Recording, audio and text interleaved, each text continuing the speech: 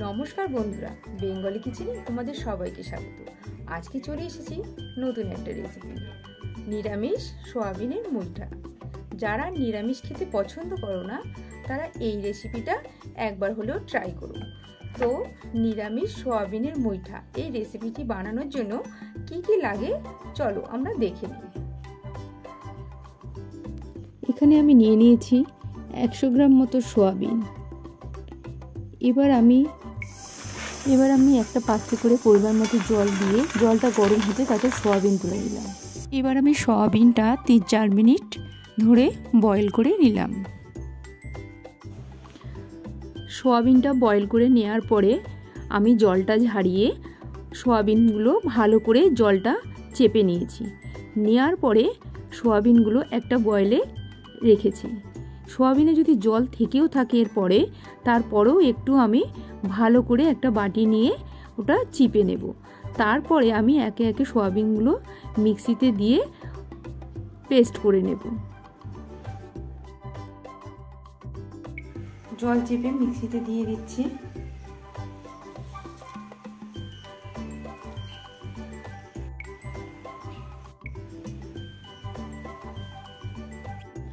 আমার মিক্সির ওই পাত্রটায় দেওয়া হয়ে গেছে। এবার আমি কিন্তু এতে জল দেবো না।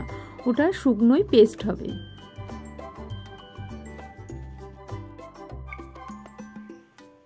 দেখো, আমার সোয়াবিনগুলো খুব ভালো করে পেস্ট হয়ে গেছে।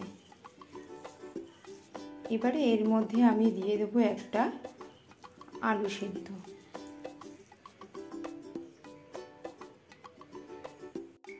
এবার দিয়ে দেবো আমি একটু হিং। দিয়ে দিলাম একটু চিনি।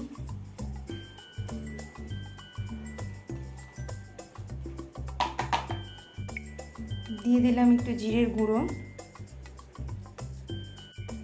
দিলাম একটু ধনে গুঁড়ো। আর দিলাম গরম মশলা গুঁড়ো। দিয়ে দিলাম একটু হলুদ গুঁড়ো। দিয়ে দিলাম পরিমাণ মতো লবণ। দিয়ে দিলাম অ্যারারুট। তোমরা চাইলে ময়দা কিংবা কর্নফ্লাওয়ারও দিতে পারো।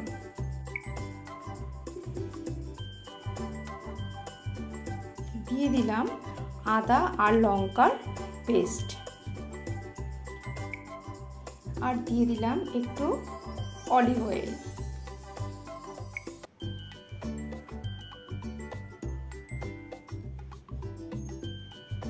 এবার আমি একটা হাত দিয়ে খুব ভালো করে মেখে নেব। তোমরা যদি পারো তো চামচ দিয়ে মাখবে, আর যদি না পারো, হাত দিয়ে মেখে নিলেই খুব ভালো হয়।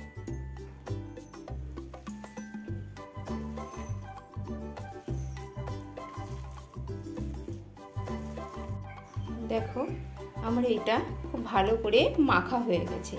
এবার আমি মইটাগুলো রেডি করে নেব।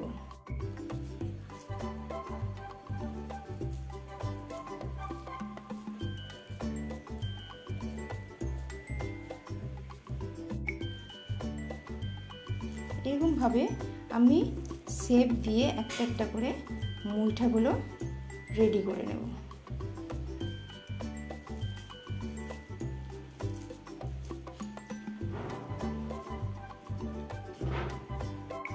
আমার তিনটে মুইটা হয়ে গেছে। এবার আমি একে একে এরমভাবে মুইঠাগুলো বানিয়ে নেব।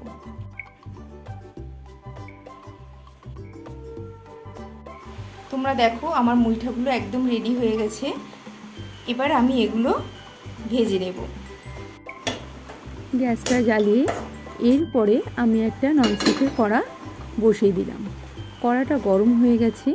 এবার আমি এতে দিয়ে দেব সাদা তেল বা রিফাইন্ড অয়েল। তেলটা আমি একটু হালকা গরম হতে দেব কারণ বেশি হিট গরমে দেব না। এবার আমি মুইঠাগুলো একে একে এবার আমি মুইঠাগুলো ফেলে দিলাম। বেশি কিন্তু হিট গরমে দিলে এটা পুড়ে যাবে তাই তেলটা হালকা গরম করে নিয়ে গ্যাসটা লো ফ্লেমে রেখে দিতে হবে। কিছুক্ষণ বাদে ফিরে আসলাম। দেখো আমার মুইঠাগুলো খানিকটা হয়ে এসেছে। এবার আমি এগুলো এক এক করে উল্টে দেব। দেখছ, কালারটা চেঞ্জ হয়েছে আর কালারটা কি সুন্দর এসেছে। আমি একটা একটা করে সব এভাবেই উল্টে দেব।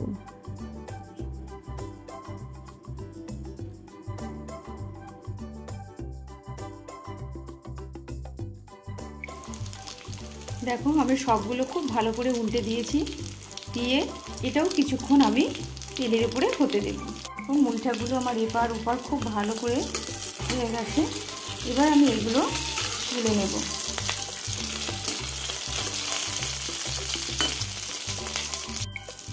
মুলটাগুলো খুব ভালোভাবে আমার ভাজা হয়ে গেছে। আর এগুলো যখন তোমরা উল্টাবে, খুব সাবধানে উল্টাবে, যাতে ভেঙে না যায়। এবার আমি একে একে মুলটাগুলোকে তুলে নেব।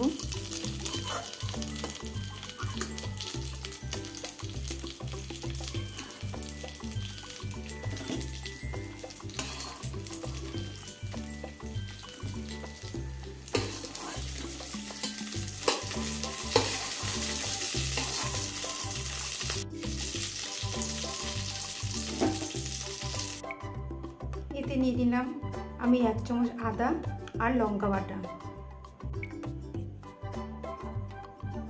জিরে গুঁড়ো, ধনে গুঁড়ো। দিয়ে দিলাম কাশ্মীরি লঙ্কা। দিয়ে দিলাম সামান্য লবণ আর দিয়ে দিলাম পরিমাণ মতো হলুদ। দিয়ে দিলাম সামান্য জল। চামচ দিয়ে এটা খুব ভালো করে নেড়ে নেব।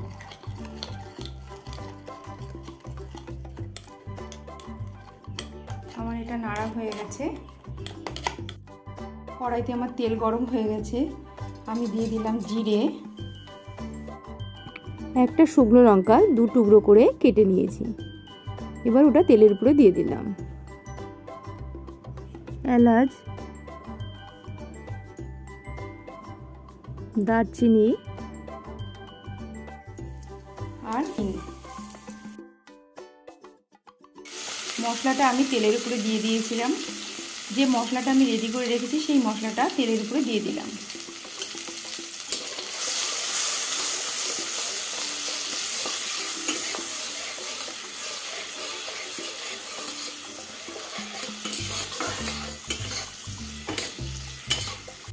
যেহেতু এটা আমি নিরামিষ তরকারি করছি, তাই আমি একটু চিনি দিয়ে দিলাম। চিনির পরিমাণটা একটু বেশিই দিলাম।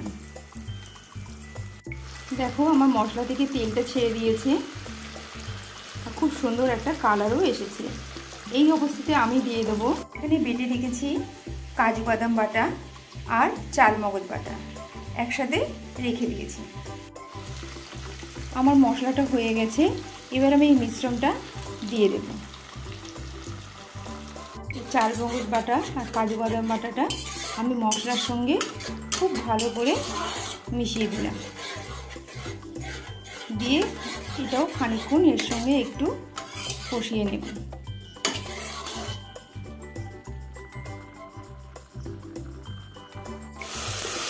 দেখো মশলাটা হয়ে গেছে দেখো আমার গ্রেভিটা সম্পূর্ণভাবে রেডি হয়ে গেছে, এবার আমি দিয়ে দেব জল। খুব অল্প করেই জল দেব। দিয়ে আমি এটা একটু নাড়াচাড়া করে দেবো গ্রেভিটা। একটু ফুটে উঠলে আমি এতে মুলঠাগুলো দিয়ে দেব।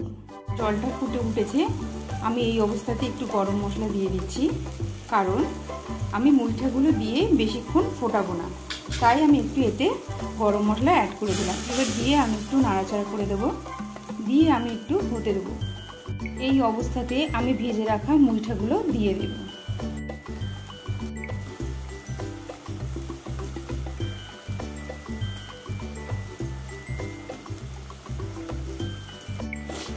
দেখো, আমি মুইঠাগুলোকে সব দিয়ে দিয়েছি। আমি কিছুক্ষণের জন্য এবার ঝোলে এটা ফুটতে দেব।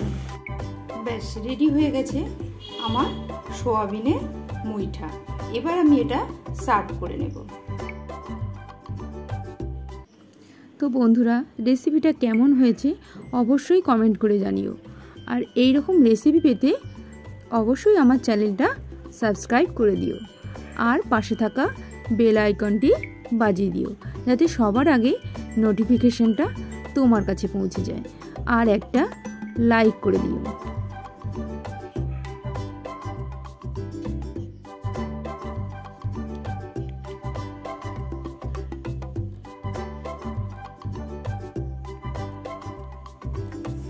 আর হ্যাঁ কিছু মুইটা আমি আলাদা করে ভেজে রেখেছিলাম। এটা চাইলে তোমরা বিকেলে চায়ের সঙ্গেও খেতে পারো।